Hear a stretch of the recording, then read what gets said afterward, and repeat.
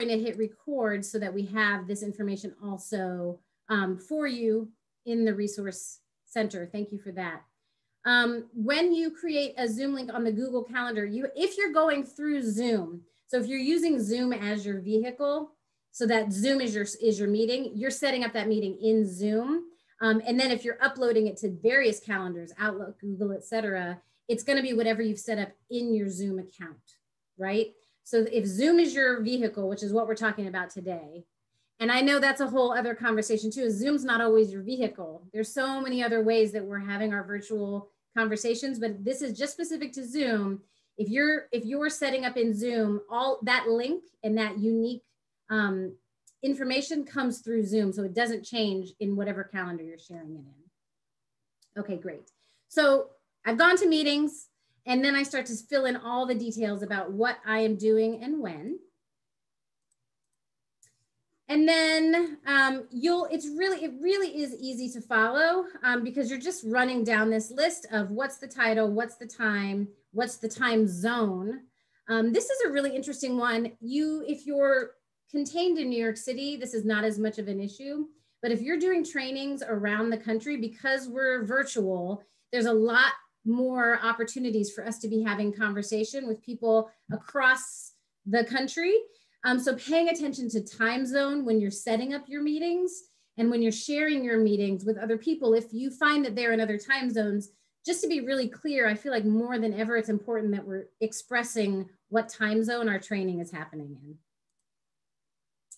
Um, one thing that happens when you're setting up your Zoom link is you have the opportunity um, you see here with the video to have the cameras on or off for the host and participant. Like we said, like I said to you this morning, for depending on the nature of your meeting or training, you as a facilitator can decide whether you want cameras on or off. There are certain conversations that you may not even want the participants to be able to turn on their camera and you can toggle that here on the screen. You see video participant you can toggle it so cameras are off and there's no option. When they log into the meeting, there won't even be an option to turn it on. Um, and that's up to you. If you have a meeting like this one where you want to encourage people to have their cameras on, then you can toggle it there. I'm gonna keep looking over at the chat box. If you have questions, go ahead and ask them. Um, and then recording. So I was just reminded, hello, record this meeting for the Resource Center you can automatically, you can set it up that all of your meetings or a specific meeting automatically records. So you don't have to remember in the moment um, and either on the cloud or on the computer. And if you have a, a co-host, a sidekick, a wingman, you can make them an alternative host as well. And then they have the same amount of um, capabilities as you do as a host to maneuver through. So all of this, all of everything that we just went through happens just by clicking on that schedule a meeting toggle. And then you can really, you're creating, I like to think of this as how would I be setting up my space if I was if I was hosting you in a live training room? What would be the things that I'd be thinking of? This is kind of your first opportunity to do that virtually. How am I setting up my space so that I have the best experience as the facilitator and you have the best experience as the participant? All right, now some of you, when you're doing meetings or trainings, may be using PowerPoints like I'm using today, um, especially if we're doing trainings. Um, and um, hang on a second, I'm looking at Mike's comment. You know, I, I don't I don't know the pros and cons about through the desktop app. Um, the I feel like through the web page, um, there's at least in my experience, that's where I have more. It seems like I have a, a bigger menu of things that I can create, which we'll get to in a little bit polls, security, waiting room, like we had for today, things like that. With the mobile app, I haven't played with it as much. So I'd love if anyone has been doing Zoom setups through the mobile app, if they could share if there's any pros or cons that they've seen. And I'll leave that to the chat box. So keep, if you've noticed any, um, please definitely share those with the group. So back to the presentation, you may have meetings where you're just all boxes on the screen of your faces. You're not using a PowerPoint. Um, it's just conversation. For a lot of us with trainings, we found that having a PowerPoint to go with the training um, keeps the content flowing, keeps us on track, gives us something visual to look at. Um, but PowerPoints and Zoom, um, at least at the leadership program, we have found we pull out our hair trying to make it work for us um, and um, not be the boss of us. So I wanted to give you, in case you've been having any problems with your PowerPoint, I wanted to give you some tips on that too. So the most, there's two most important secrets that I have found in the virtual world when it comes to Zoom. And the first is this one. If you are using a PowerPoint with your Zoom presentation and you haven't found this magical button, this has been probably the source of more problems than you realize. So you see on the screen here, when you are creating your PowerPoint, that little box that says set up slideshow, right? This is the secret that saved my life. That wants to be toggled on the second toggle there, browsed by an individual window. What will happen, your default for most of your PowerPoints, when you're setting up your PowerPoint, most of your PowerPoints are gonna default to that first phrasing that says presented by a speaker, full screen, which just by looking at that, you'd think, well, that's what I want, right? I'm presenting, I'm a speaker. That's what I would want for my PowerPoint. Here's what happens. When you are in that first toggle presented by a speaker full screen, when you share your screen as the presenter, you no longer can see the chat box most of the time. You sometimes can't see the videos of the, the screen, the video screen, so you can't see your participants. You're kind of at the mercy of your PowerPoint. Your PowerPoint literally is full screen. I mean, it says it is right there, right? But it's not joking. It literally is full screen and you can't really do anything about it. Now, I don't know about you as a facilitator, but I'd like to be able to see everything. I want to see my PowerPoint, but I also want to see you. I can't, I know I can't see all of you at the same time, but I want to at least be able to. I want to see the chat box. I want to see who's in the waiting room. Like, I want to see a lot of different things on my screen. All I have to do in order to make my dream come true is change it to that second toggle, browsed by an individual window. Because what that allows me to do is the second biggest secret of virtual reality for me, which is the exit full screen. to me, exit full screen is like the power on and power off of our virtual reality. When you're stuck and you don't know what to do, try to exit full screen. That's usually what's happening to you is that you're stuck in full screen. So once I've hit browse by an individual and I share my screen at the top right, like you can always do when you're when you have a Word document or anything open, you can exit full screen. And what that means then is that you can manipulate the size of your PowerPoint, which means then you can move the chat box, you can see the videos, you can see everything.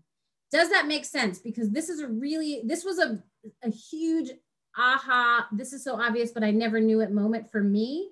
So I want to make sense, make sure it makes sense for you.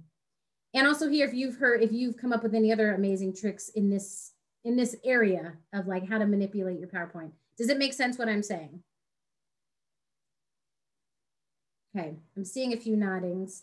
Um, I truly, I mean, it's again, it's such a simple thing, but it really changed my ability to maneuver through a training or a meeting um, in a way that was made it engaging for me and helped me help you, the participant. So if you're stuck in your PowerPoint, this is probably where you're stuck. Always check, set up slideshow, check that you're toggled in that second box. That's your, this is your, this is the million dollar idea for the morning. okay. So now taming the Zoom screen. So I said exit full screen is like, that's, that's the second biggest trick. So what happens is, so first you're gonna do the actual screen share. We talked about making sure your PowerPoint was in that. Um, when you go, when you're in your meeting and you want to share your PowerPoint, the first thing you want to do is make sure you hit share screen. Make sure you click only on the presentation that you're wanting to share. So have it open. If it's a PowerPoint, for example, have it open. And then when you hit share screen, click on that only. Another thing I'm sure you've either done or witnessed happening is that people share their entire screen, their, their desktop, and that's fine too. But what happens there is that then your participants get more of a behind the scenes look at your computer than maybe you care for them to see because they're seeing all your files then that are open on your desktop. You're scrolling through your 14 tabs that are open. So a quick way to avoid that is that you just click on the presentation itself that you want. And then the third best secret of the day, first one was browse by an individual. Second was exit full screen. And then this third one here is click on that button that says share computer sound. When you click on that share computer sound button, you can play music before the training begins. Like I had music, I had my iTunes open and just had music playing. If you have an, a video embedded in your PowerPoint, your participants will be able to hear it. Um, any kind of audio that you want to include, any music that's coming from your computer, essentially, your participants will hear. So that's a video, a YouTube link, music, Spotify, iTunes, whatever sounds you want them to hear. As long as you click share computer sound, they'll be able to hear it. And then of course the reverse is true. So if you don't click on that button, they're not gonna be able to hear anything that you've embedded. Okay, so this, I'm just reiterating this point a hundred times because this is one that I hear over and over again is like, well, okay, I have my screen sharing, but now where's the chat box? Where are my participants? Everyone vanished. All I see is myself and my PowerPoint. Um, so the magical black bar, which if you are presenting, if you're the host, you're gonna find that if you move your cursor, it's gonna toggle down from the top of your screen. If you're you're a participant, it's probably at the bottom of your screen now. Either where it is, whether it's at the top or the bottom, this is a black bar that has a lot of the things that you need, both as a facilitator and a participant. And so when you are the presenter and you start sharing your screen, you're gonna need to then actively manually open your chat box um, and the participant list if you wanna see it. Um, so you see, you'll find the chat box. Where the heck is the chat box? Well, in that magical more dot, dot, dot, that's where a lot of the things you want during your presentation um, lives, including the chat box. Um, and the participants list here, some people like to have that open, some people don't. If you have activated a waiting room, make sure that's open because otherwise you as a facilitator don't always notice when somebody's waiting in the waiting room. Um, it's also good too if you want to, if you're not able to see everybody at the same time, right? There's 42 of us this morning. So because I have a PowerPoint open, I'm not going to ever see all 42 of us all at once.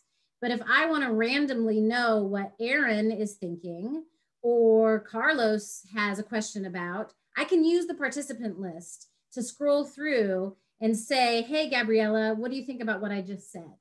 So as a facilitator, the participant list I think is good to have open because it allows you as the presenter to know who's with you, um, even if you can't see them all at the same time. So as you're setting up your screen, using that magic toolbar here for participants, and then over here, this more button specifically for the chat. And then later we'll get to breakout rooms. It also will let you know that you're sharing your computer sound. Any thoughts, questions, or other things you would add to this setup before I move on?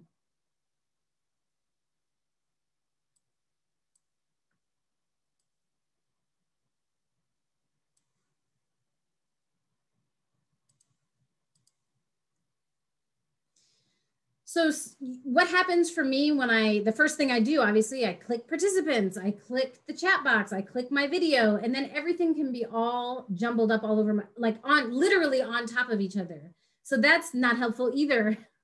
And that's where once again, the exit full screen comes in handy because once you exit full screen, um, you can just literally start moving things around with your cursor. So I can click and drag my chat box away. I can click and drag myself click and drag the participants. So once all those boxes are open on my screen, as long as I've exited full screen, I can manipulate all around so that it looks the way I want it to look. Now, here's a thing that I haven't figured out yet. And if you figured it out, please share it with us. As far as I can tell, the only uh, view that I can guarantee is what I'm seeing is my own because depending on what device you are using, uh, what system you are using, all the things I've just told you, your screen still may be looking different. So it could be easy for me to say, oh, just move your chat box over to the left-hand side, but you might not have that option. So I know, I know how to control my own view by manipulating my screen, but just because my screen looks one way doesn't mean yours does. So as a facilitator, it's been important to recognize that um, the way I see it isn't the way you see it. Uh, we in the beginning at the leadership program, we're trying to make all of our PowerPoint slides um, with a room at the right side for your chat box and your video screen to go. Um, but then some people's video screens were like plunking right in front of the PowerPoint and not over there where we thought they would go. My screen isn't your screen and your screen isn't my screen. So the best that you can do is just set it up the way you, the facilitator, when you're leading a meeting or training, are most comfortable. Exit full screen gives you the most power of manipulation to get your screen the way you want it. And then understand that your participants might be seeing something entirely different, especially if they're logging in from their phone. And yeah, Maggie talked about how Chromebook, um, Chromebook has limitations as well. So devices, some people are on iPads. So depending on the device, a lot of what we're saying may be different um, or simply untrue. So this is this is the way it works if you're working on a laptop, setting up from the Zoom webpage with a Zoom account. Um, so yeah, there's just so many different exceptions to the rule that we just have to understand. So exit full screen, if you um, if you've done that second toggle um, with the browse by an individual, you will have see if you can see up here sorry my my little black bar is in the way. I'm going to move myself down here. This guy here this box here can you see my cursor on that on that box up here? You see me okay. So that box there um, if you are in full screen we'll have two boxes. And if you click on that like right now it'll show up and it'll ask me if i want to maximize full screen. That's the box kim that you can exit full screen on what it does is it makes your box, you'll notice it just shrinks slightly, but what it does is it gives you the power of manipulation to make the box smaller, bigger, whatever you want. You can move it right to left. So this is where it happens right here.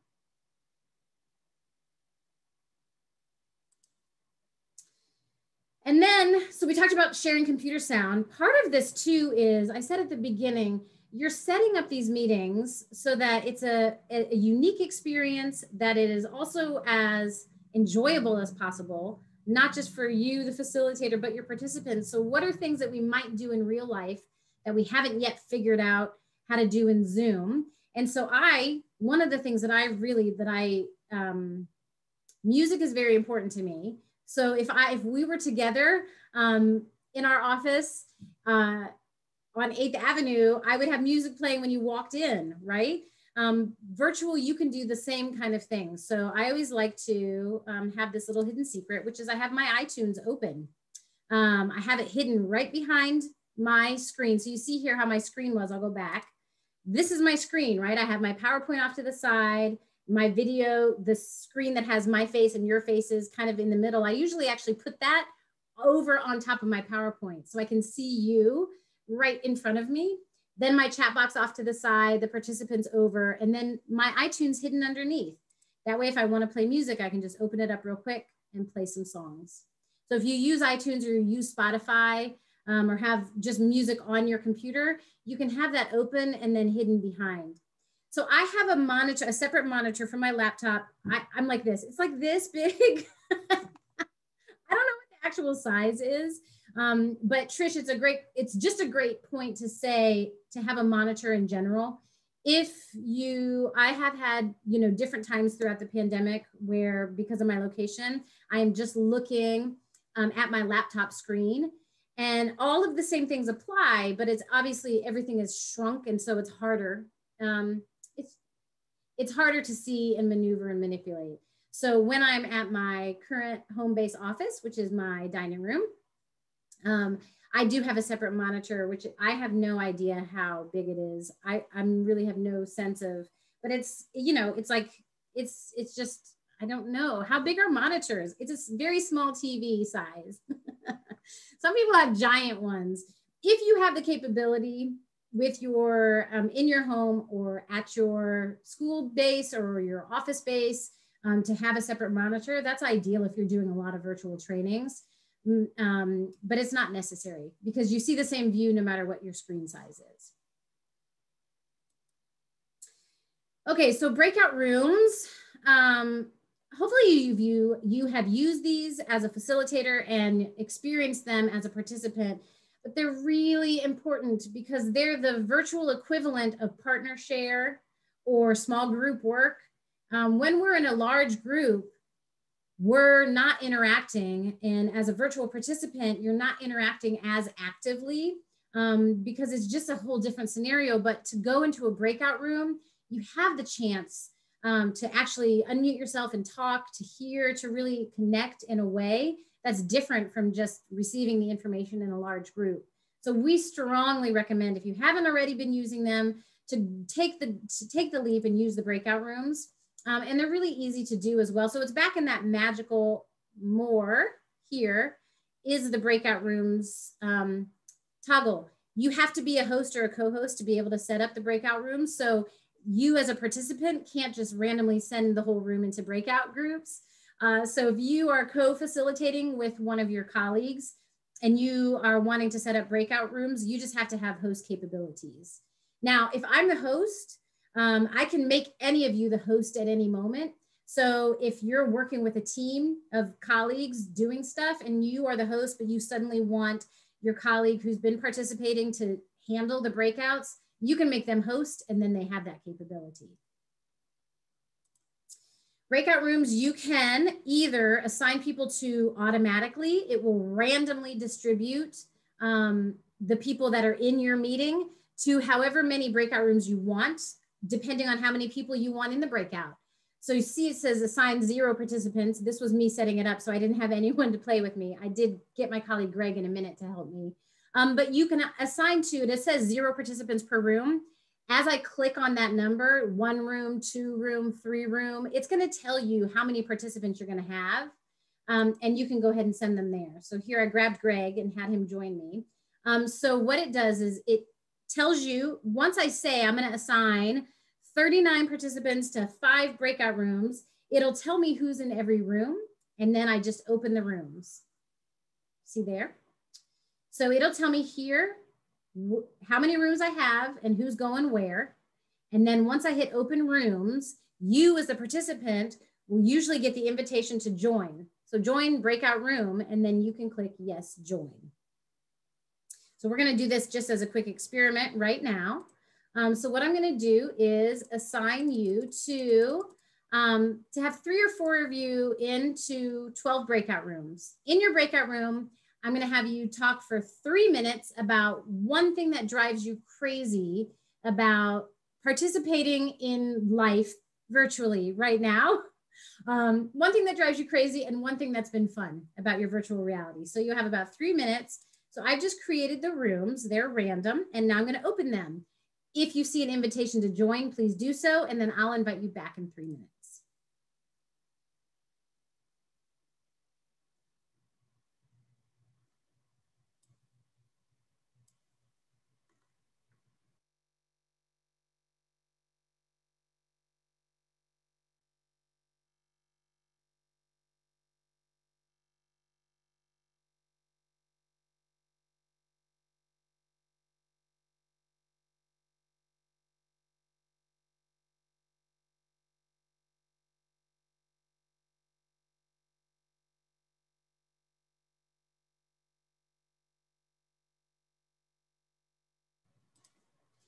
For those of you that are still here in the main room, I know you're probably doing 20 things all at once. That's the way it goes right now.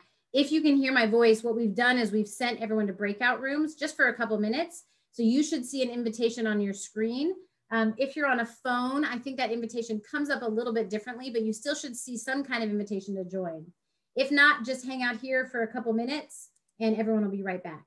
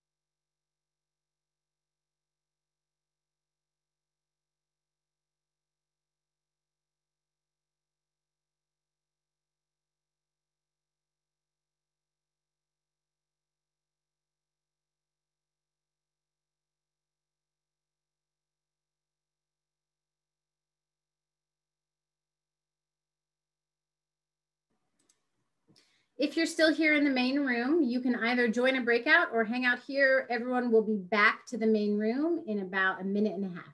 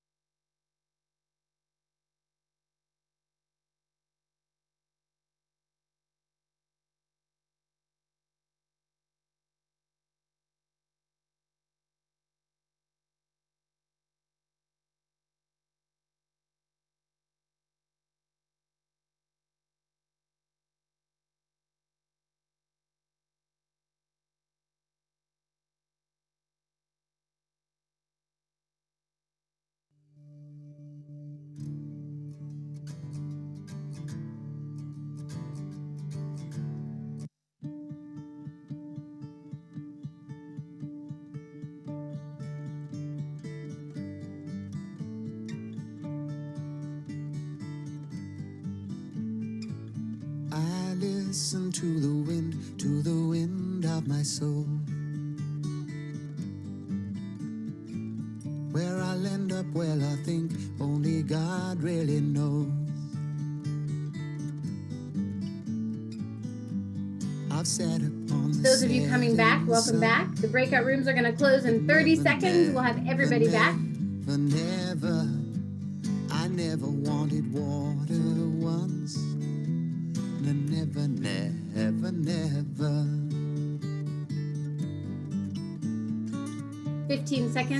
Everybody back.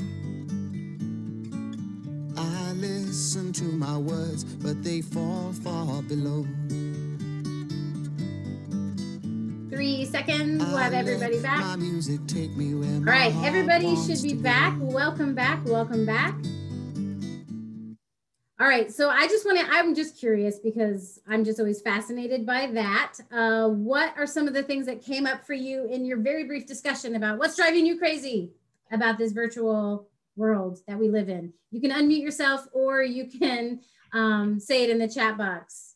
I'm sorry, everybody, but I really happen to love it. So you love I it. I really do. That's, that's great, Trish. I appreciate that. There's a lot that I love about it too. I think there's a lot that's opened up with a virtual world that has wasn't available before for us. So I think that's great too. So thank you for reminding us that there's great stuff too.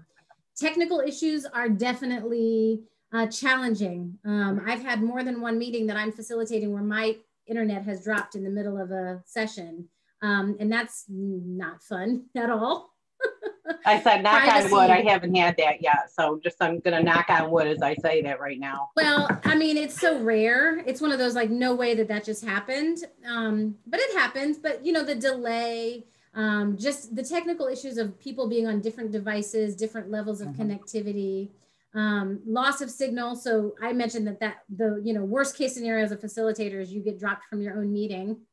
Um, but privacy, you know, nobody asked to have their work come into their homes. I didn't invite 40 of you into my living room today, um, or I wouldn't have necessarily 12 months ago, but that's, this is where you are, right? We're in each other's, we're by participating in these with our cameras on, we are inviting um, each other into our homes. And so just honoring and understanding that that is a really interesting um, change in privacy. Reading nonverbal cues and body language is a really big one um, and something that it's in uh, an, could be a whole other workshop right? Is how do we um, look for and navigate through the verbal and nonverbal communication that happens um, in, in zoom um, the so the, the the playing music is really interesting about soft and loud thank you for that question mike because um, it might on my end it might be soft and on your end it might be like bursting your eardrums, especially if you have headphones on.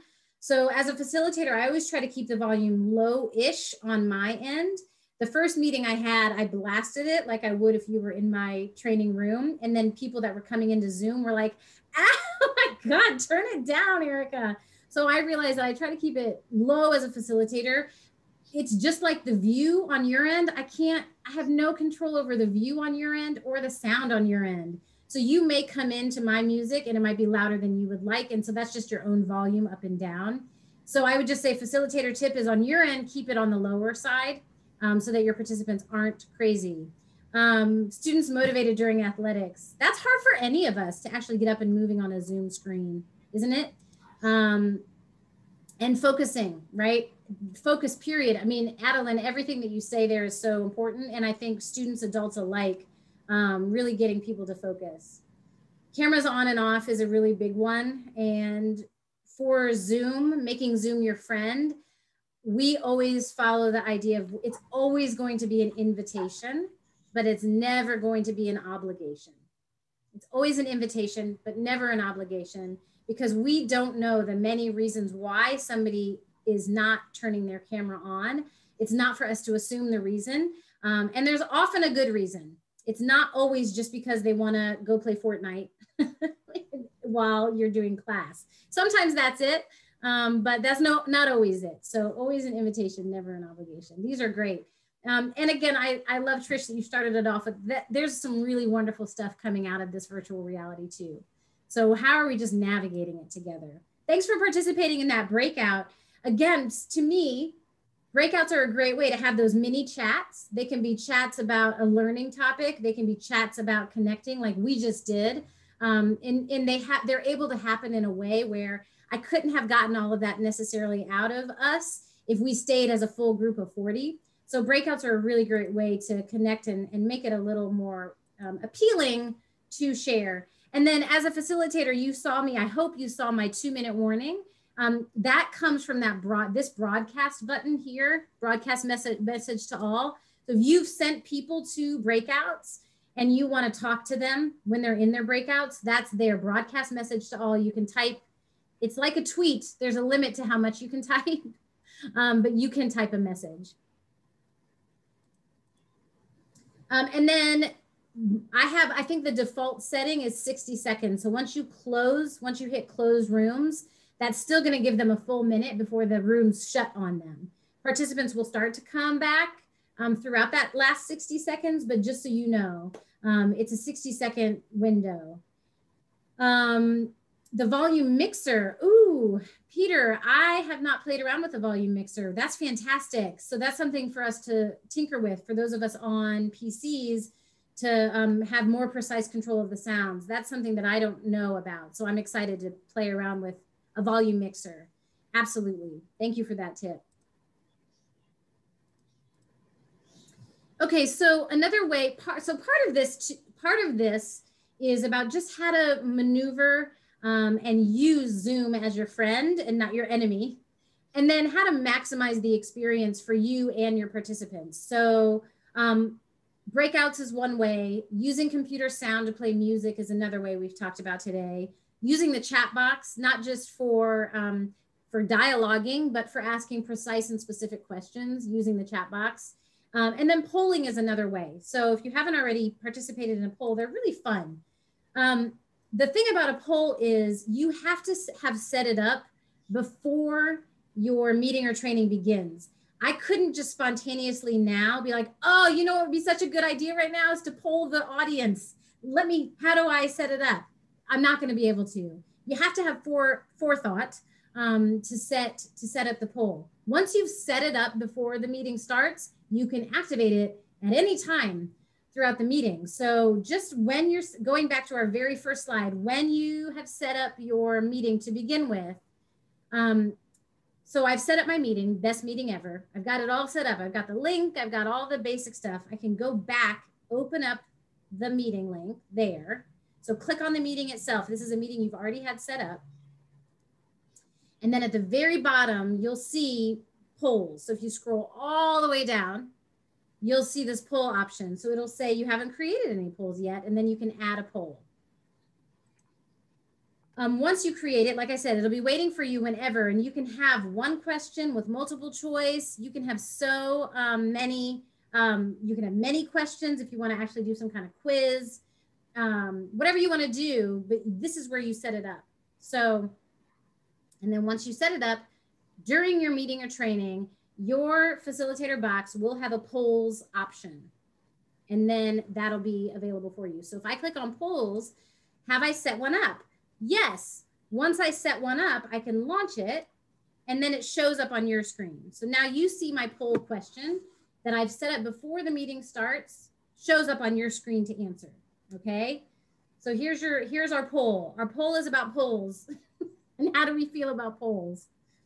So I'm gonna I'm gonna share the results in a moment, but I tell you it's an interesting. Um, so if you haven't if uh, if you have this on your screen, you should know that polls are anonymous, um, unless I make it not so. The poll is going to be an anonymous answer. So what you're just getting at as the facilitator and for the group is kind of a you know the general feeling about X topic or Y topic is this. It's a good way just to get a pulse, right? So, so far, um, we have, here's the results. You should see them now of who answered. Most of you love polls. A couple of you hate them. And a couple of you have never used them before. So that's fantastic. That tells me this is where we are. So again, no matter what your topic is, whether you're doing a training, a meeting, whether you're teaching, whether you're just sharing information, there's usually something that you could get a, you're just trying to get a pulse of the room. A poll is a quick way to get a percentage. So you can, you're checking for majority if there is one, you're checking for understanding, you're checking for opinion in a really safe and easy way. So um, if you haven't used them, play around with them, but just remember as a facilitator, this can't be a spontaneous moment for you. You have to have set it up before your meeting begins. Once you're in session, there's no setting up a poll. Once you've set up a poll though, it's available for you anytime throughout the course of your meeting. Any questions about polls?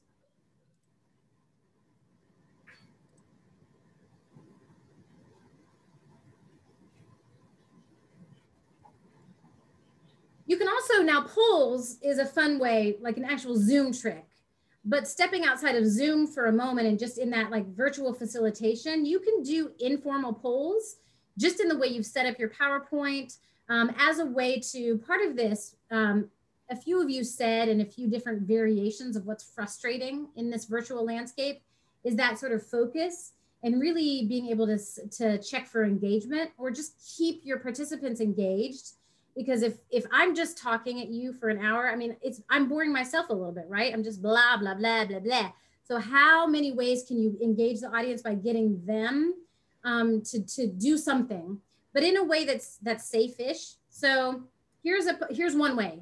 Um, a virtual working bingo. So just for fun, you're gonna score yourself here. So get, we're gonna we're gonna you have an opportunity to give. Um, oh, sorry. Before I do our virtual bingo, Carmen, great question. Um, it will show for everyone. So if you do a poll, there I have not figured out a way to just poll for one group of people in one breakout. So if I launch the poll, it's going to show up on everybody's screen that's participating in the meeting. Has anyone figured out a way to do a poll for just one breakout room? No, I don't think you can. If if anyone has figured it out, please share us because that would be super cool. Um, that would be really cool. But I haven't. I don't think there's a way. I think it shows up for everybody. Okay, so piece of paper and pencil. This is worth 10 points. Um, the winner gets a round of applause from the rest of us. Okay, so one point if you have said you're on mute at least once this week to somebody that you're in a meeting with. You think by now we would know about how to mute and unmute ourselves. One point if you've had socks or slippers on, um, either right now or during another virtual session sometime this week. Give yourself one point if you've been interrupted this week by a pet or a child during a virtual meeting or training. Give yourself one point if you've participated in a virtual meeting this week while simultaneously doing something else. This is where the cameras off can get a little tricky, whether we've been answering emails, washing the dishes, raking leaves, folding laundry. Um, we're multitasking, right? We're good at this. Give yourself one point if you've made some kind of joke about your long commute this week. One point if you've answered an email before 7 a.m. or after 10 p.m. this week. Our work life boundaries, because our work and life no longer have any boundaries, have been slippery to say the least. Um, and I know a lot of us are guilty of really not having strong boundaries of when our workday begins and ends anymore.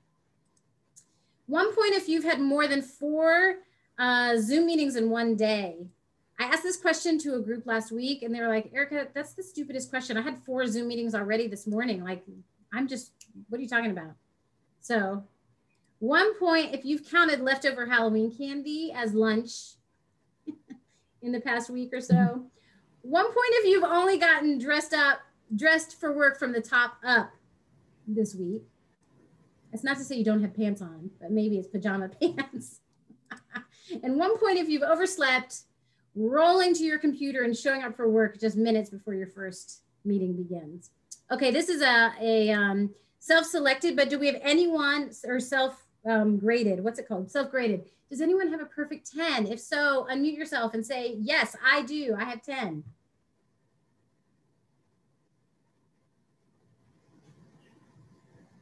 Anyone with nine out of 10?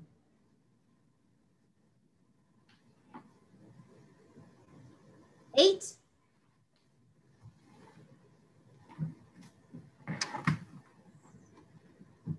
Seven? Yes. Alan! Alan has seven, and Adeline and Ken. Seven was our magic number. Holy moly. All right, yay. Now, everyone, here's another fun Zoom thing. If you can, do you have reactions as a facilitator? I mean, as a host, I don't have reactions, but as a participant, if you go in your magic black bar, you should have reactions. And if you click on that, you should be able to give our magic sevens a round of applause, laughter, a heart, uh, thumbs up, a celebration, reactions. So as a host, I can't do it as a facilitator. But as a, as a facilitator, it's great to offer moments to encourage the group to give celebration. So congratulations via our emoticons, our virtual emoticons. Oh, Cindy, you had nine? What? Let's back it up. Matt, Mike, you were so close with, with six, but Cindy just swept in and knocked out all the sevens like a bowling ball. so sorry, sevens, you're actually not the winner. So we take away all of our emoticons for you and we give them all to Cindy. so can we give Cindy a round of applause, a thumbs up, a some kind know. of love and attention? That's awesome. That's hilarious. Now, all of those, all of you that have unmuted yourself to congratulate yourself, please mute yourself back again. Um, so again, with Zoom, using those reactions, it's easy to find once, once you know where to look for it. And it's a really fun way to um, get the group playing a little bit. Um, also get the group engaged, um, even if their cameras are off, um, those emoticons are gonna show up. So using those reactions, encouraging the reactions. And again, this virtual bingo is another way to sort of poll the group without using a poll. So think of ways that you can do a Q&A, question and ask, get a sense of the um, the group in these different ways. Okay, let's go back to your PowerPoint for a minute. Most of us really suck at PowerPoints. I know I did um, and probably still do. I'm sure there's a lot of you on here with a lot of notes for me on how my PowerPoint can be better. And I'd love to hear them. I've been schooled uh, repeatedly over the last couple months about continuing to make my PowerPoints better. Um, because, because we are we're not in a room together looking towards a shared smartboard we're looking at boxes of us and then a powerpoint it's really important that we give our powerpoint a little bit of tlc if we can so that we're not just putting words on a screen um, and so one really easy way there's a lot of ways to do this but one really easy way to do this um, is to let the internet help you with its stock photos so here you go up here when you're you're you've got your PowerPoint, I'm just starting. I'm just going to put my words. Here's our agenda for today. Words, words, budgets, blah blah blah programming. Let me make that exciting. So up here under insert, up here, this is when you're in your PowerPoint, okay? So this is I'm making my PowerPoint slide. Insert up here, it's pictures here, insert stock images. If you click on that button, it's like a magical wonderland awaiting you of photos. So if you click on stock images, this is where you see picture after picture after picture of allowable usable photos from the World Wide Web. Um, these are stock photos that you'll find on your PowerPoint presentation. So they're pictures that are meant to really pop your slide. Um, so depending on, you could say, I want something that is about the sky, or I want something that's about teamwork. Um, ooh, Pixabay. What is that? Trish, what's Pixabay? Tell us. Free pictures. Do I go, like, do I Google search it? Maybe. Pixabay. I don't know Pixabay, so I'm going to play with that too. You can also, so if I go back to here, so the ones that I'm showing you here are the stock images that PowerPoint has pulled. That's they know they say these go well on a PowerPoint slide. They're gonna, they're not gonna be pixelated. They're gonna make a great background. They're gonna fit the theme of what you're talking about. But if I'm like, I'm looking for something very specific, what I want is a piece of Halloween um, candy or whatever is I can go to online pictures here. So I wonder if that, how close or similar that is to Pixabay, because that's just gonna do an open search to available pictures on the web. It doesn't speak to quality, but it will get to a specificity that maybe your stock photos don't. Using photos is such an important, um, is such an important way to really, I mean, we forget to do it. And understandably so, we have a lot to get through. So I'm just going to put the agenda on. I'm going to put the main points on. Um, but this, the small act of adding some photos really does a lot for the engagement of your group and just making that for us visual learners, really it helps. It doesn't seem like it would, but it really does. So what it will do is it'll take a picture that you've selected and it'll put it as your background um, to really be like, ooh, that's something interesting. Maybe I'll pay attention. And then if you're not sort of graphically inclined, that's I think another reason we get scared of PowerPoint the same way we get scared of Zoom because it's not our natural the muscles that we're used to flexing. There's help to flex. So let design ideas help you when it comes to creating your PowerPoint. You're going to find design ideas over um, here. It's going to open up for you. It sees you. You've just made. You've just pulled a picture that you like from those stock photos, and you plunked it. You've inserted it on top of your slide right here. When you first insert it, it just looks like this, and then you're going to panic. You're going to say, "Well, that's I don't know what I'm supposed to do with that." But then immediately, this magical wizard will help you. Design ideas will open up, and it'll show you a few different options on what you could do with your slide. Um, it doesn't work every single time, especially if you pull from, I don't know what will happen with Pixabay, but I know in the past, if I've tried to pull a picture from my computer or from the web, it just stays like that. And then I'm like, oh crud, I now I need to figure out how to manipulate it. But if you have pulled from a stock photo, um, design ideas is a really, it's a lifesaver. Okay, so embedding a video too. We talked about sharing computer sound with music. Um, I and this all of this stuff is stuff that we've I've stumbled on or my coworkers have stumbled on. So this is why I've kind of chosen these things to focus on today because I've watched the stumble in these areas. A lot of times we want to show a video and then if we one thing that we try to do is just open it up as a separate screen and then fumble because I'm sharing my PowerPoint, but now I want to show you a video. And now what am I supposed to do? Quickest and easiest way to have this be a seamless conversation is to go ahead and just embed your video straight into your PowerPoint. And as long as you've shared your computer sound, um, it's gonna it's gonna play. Now, is, is it gonna play with a slight delay? Probably, um, because again, we can't control what devices others are going on um, but it will play usually pretty easily. So the first thing you do is find the video on YouTube or wherever um, that you want to play. You can't really see it very well, but underneath my arrow here, if I'm on YouTube, there's a, and I'm playing a video, see that it says share with a little arrow right here.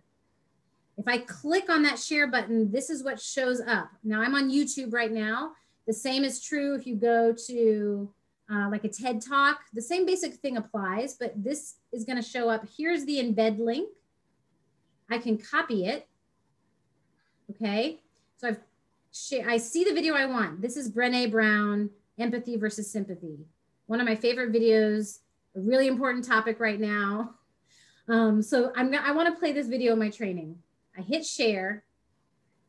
I copy this link. I just hit copy.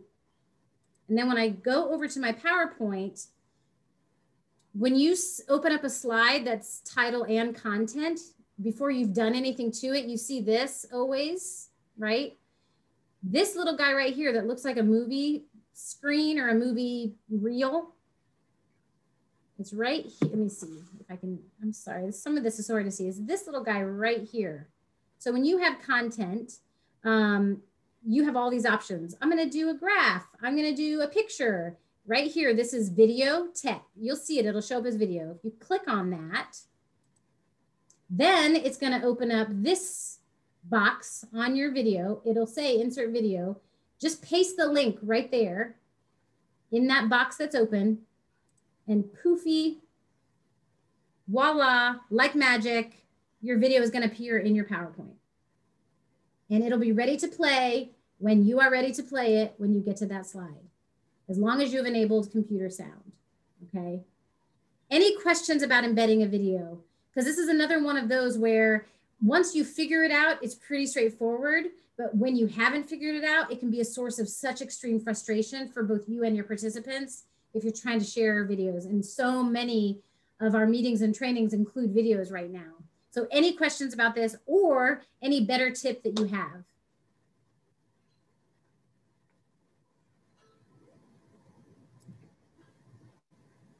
Um, so I want to also just give you a chance if you have any other Zoom tricks or secrets or fun things that you do to um, to make your Zoom meetings pop. So one of the things that we have been having um, a lot of fun with is in um, as a facilitator, if you're really trying to get the um, the room, you know, to pay attention to you and you think they're not, is what we're calling the tornado or the hurricane, which is just doing this with yourself. oh my gosh, I'm being blown away.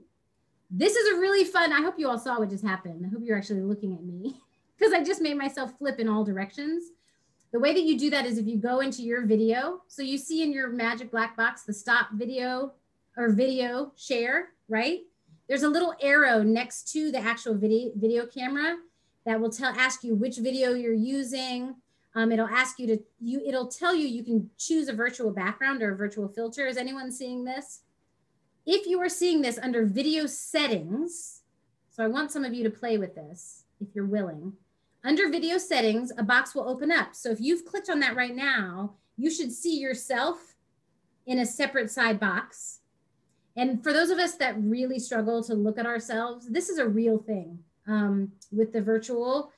That also could be a separate workshop. That the the real struggle with looking at yourself while participating, ever, but while participating in a meeting, um, is a, is a real struggle for people. So what I'm asking you to do right now, if you are someone who struggles, is doubly struggling because now you're looking at yourself twice. But for this, just to show you what this is, if you have that video settings box open, you'll see a rotate 90 degrees option in your screen that shows your face. And if you click on that, it's gonna move, it's gonna flip your direction. You see it? There you go, Alan saw it. So a couple of you are seeing that. This is a, just a fun, again, what are the like silly little fun things that we can do to engage in Zoom differently, engage in our virtual meetings differently. So some of us have backgrounds as well. Um, you can also do, we were in a meeting last week where we were talking to our five-year-old self. So I put a virtual, um, there's five-year-old me. You can do a virtual filter um, if you want, and you can turn yourself black and white uh, or give yourself a movie frame. Hello. So playing different um, screens and tablets have different um, capabilities when it comes to this. But if you if you should at the very least play around with your video settings before the meeting. Um, yes, the filters. Yeah, it's so much fun. I mean, like the black and white. I was doing a training that see Alan's now at the Golden Gate Bridge. Um, there's different there's different fun things that you can do, um, and um, to set the mood, to set a theme. I did black and white when a training that I did the day before Halloween for the whole time just to set the scene. Um, and then the rotating, part of making the virtual room engaging is to just tinker around and play, explore. So is there anything else that you've done as a facilitator to explore and play um, with Zoom that you wanna share with us? Because I'm always loving to learn. Anything else that you wanna share with us?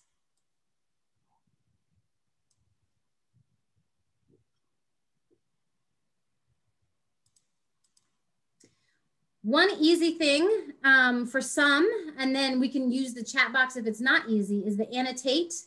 So if you look at your um, magical black control bar that's either at the top or the bottom, it will either show up on the bar itself or it'll show up in the dot, dot, dot more, is it says annotate and there's a little pin. If you click on that, if you have that, and you click on it, you'll see text, draw, stamp, a whole bunch of options, right? So as a participant and a facilitator, as a facilitator, you can make this happen by creating or leaving a blank PowerPoint slide, an open screen. Um, so that, oh, thank you. Before I, we talk about annotate, because we are getting to the end and some people have to leave early, please do make sure for attendance purposes and so that we can follow up with you that you, before you leave, put your name in the chat box um, and actually you can do this now as we're annotating. In addition to annotating on the screen, which I'm drawing a heart right now, you can also type your name in the chat box. So type your name in the chat box and also play with annotate on the screen. Fiddle around with this. So with a text or with a draw, you can choose, yep, somebody stamped, excellent. You can change the color. You can, if you don't, if you are not wanting to draw, when you hit text, it actually types in hello, hello. But you have to hit, um, you have to go out of it, like click out of it if you hit text for it to show up on the screen. So why would I use annotate? There's a couple different, well, there's lots and lots of different ways. Um, one of them is I, for some of your programs, whether with students or adults, uh, it's common for us to create community norms and agreements. Um, a circle of hands to gather together uh, set of understandings for our time together. You could have the, your students or adults um, annotate things that they want, qualities or norms that they want. So you could say, what qualities do you want to have in this room? And then people could type in. So I'm writing listening, right? You could also, somebody or you, those of you using the stamp, like if I have a, do you agree with this? Do you disagree with this? You could ask people to annotate over that slide with stamps. Um, if you want to just fiddle around like this before the session starts, just give this participants a chance to annotate and color and kind of graffiti wall. So there's a lot of different times that you can use annotate um, and reasons why it's fun. Now it's a slippery slope when you're dealing with elementary school students. Um, I've witnessed my own nine-year-old son um, and his Zoom room of, with his poor teacher who had them annotate about something. And then she had moved on, but they had not moved on. So they were annotating all over her very important math lesson. so it is tricky um, to, you know, rein it back in once you've started. However, annotating again is a different way to interact with Zoom. It engages the audience differently. It's fun. It's a fun brain break. So definitely take advantage of this annotate button. Now, Here's the thing about annotating. So if you'll see, I'm going to move my slide forward one. If you see, oh, wait a minute, I'm still in annotate and I just put a heart over my, hang on a second. Okay, hang on. Um, if you, shoot, I can't move my slide because it won't let me, oh, here we go, mouse. Um, if I move my slide forward, you see that the annotation is still there. So the thing to know about annotation is it doesn't stay contained in the slide that you've invited people to annotate on. It actually now exists in the entire presentation. So what you do have to do is when you, whatever slide that you've set aside for annotating, once you're done, as the facilitator, you can save it, um, but you do have to clear it. And as a facilitator, like in your annotate button, you probably see a clear, like a little trash can clear my drawings. If you're like, ah, I don't want to say that anymore. As a facilitator, you can clear all drawings. so I click on clear all drawings and then they're all gone. So you have to be able to, you have to clear the drawings in order to move on. And then if I'm with students, I might say, thank you so much everyone for annotating. Let's exit out of our annotation screen. We're not, we're putting our pens down for now. Um, and again, before I move on, we're wrapping up now. So I do want to make sure that everyone has put your name in the chat box um, so that your attendance is counted as well. I'm gonna save the chat too. Um, great. So um, the other thing too is that it's good to occasionally change the view. So for example, this whole time I've had the um, PowerPoint on, but now I might stop sharing um, and invite you all, if you haven't, to put us in gallery view. So now your, your eyes are away from the PowerPoint for a couple minutes. And if you look on the top right of your screen, there should be a view, a small view box. And you wanna click on gallery view and then you'll see not all of us because there's more of us than will fit on a screen, but you'll see a lot of us. Uh, if you click on speaker view, it's only gonna be me or whoever is talking. And there's value to that if you want that for yourself. But I know for myself, I like to always keep it on gallery view so that I can see as many people in the room as possible. So right now, if you have it on gallery view, you should have a nice big screen um, of names and some videos that are open. If you put it on speaker view, you just see somebody that's moving or somebody that's talking, somebody that's just talked. Um, and then once I share my screen again, um, then you see the PowerPoint side by side with that. So it's good to change the view up from time to time when you're facilitating. Sometimes share your PowerPoint, sometimes um, not. Sometimes maybe ask everyone to turn their cameras off. Sometimes everyone to turn their cameras on if they're comfortable. So just giving them the chance to have a, a, a literal different perspective um, is really helpful. Okay. All right, so that is, that's about everything I know about Zoom in one fell swoop. So let's do a quick three, two, one action. Um, think about it for yourself, but and write it down on your piece of paper. But I'd love if one or two of you want to share any of your thoughts on this, either in the chat box or unmuting yourself, which is three, two, one. So three things you learned today, two things you'll think about incorporating from today's um, set of tips and tricks into your own meetings and trainings, and then one thing that you might be excited to share with somebody else or teach somebody else that was something new to you today. So three, two, one, write down for yourself. And I'd love to hear a few, either of you unmuting and telling me or writing in the chat box.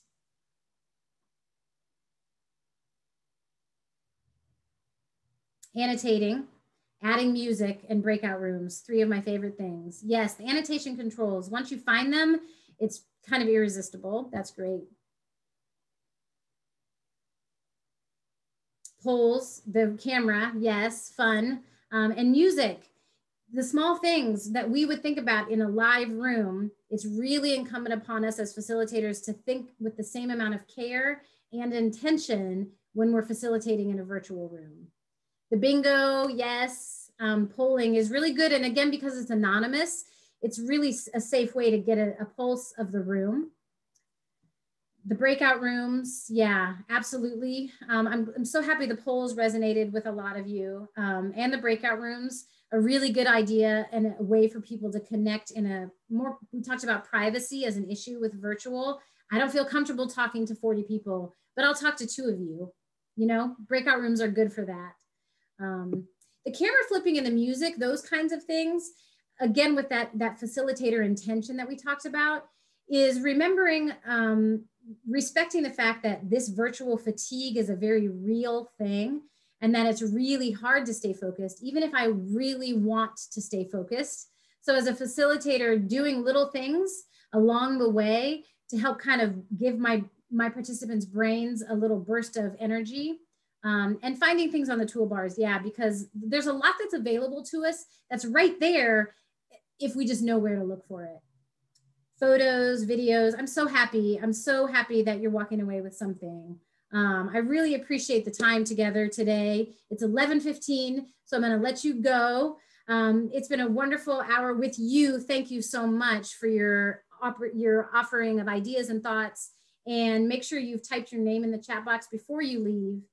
Have a wonderful Thanksgiving, however that looks for you. Um, I hope you are finding ways to give thanks this week and this year. And thank you all very much. Hopefully, I'll see you again soon. Take care.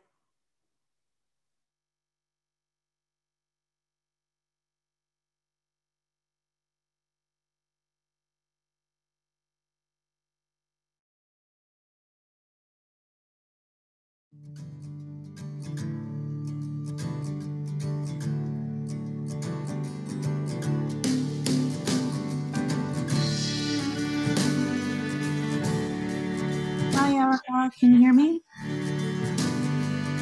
Yes, I can. Hang on, let me turn down my music. Till lights burn red. It's quite Hi. all right. Resource Center. Hi, Erika. And Thank Hi, you let me so turn much this. This training, it was wonderful Thank and you. helpful. Um, I guess once everyone is logged off, if I'll, uh, if I can get your email, um, I'll reach Yes. out to you to follow up on next steps. There we go. I put it in the chat box, Melissa. Great. Okay. And I saved the chat you- too. Did you get everybody? Say it again. I said, did you get everyone? I'm gonna also email you the, um, if you're sending the evaluation to everyone, um, Yes. I'm gonna send you also the PowerPoint so that everyone has it, so that they have that as a resource. Great. So what I would just need is um, the chat box, the PowerPoint, and the recording. Yes, and what is your email? So I have it too. Sure. I'll put it in the in the chat box. Perfect.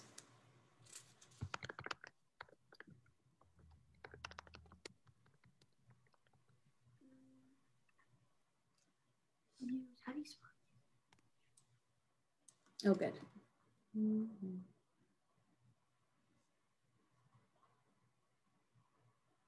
Okay, perfect. So I'll email you with those things. Um, and thank you again so much. Great. Thank you, Erika. I loved it. Thank you. Oh, thank you. Have a great week, okay? You too. Happy Thanksgiving. Happy Thanksgiving. All right, those of you that are still on, I'm imagining you're multitasking right now. So just a heads up, this meeting is about to end. So I'm sorry if it feels abrupt because I'm going to end the session for all. I wish you all a wonderful week and a happy Thanksgiving.